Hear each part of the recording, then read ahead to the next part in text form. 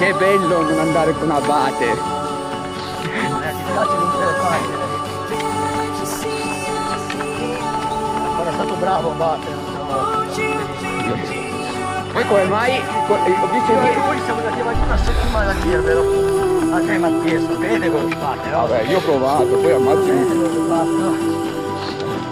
poi a Mattia, Michele. Ma comunque la parte migliore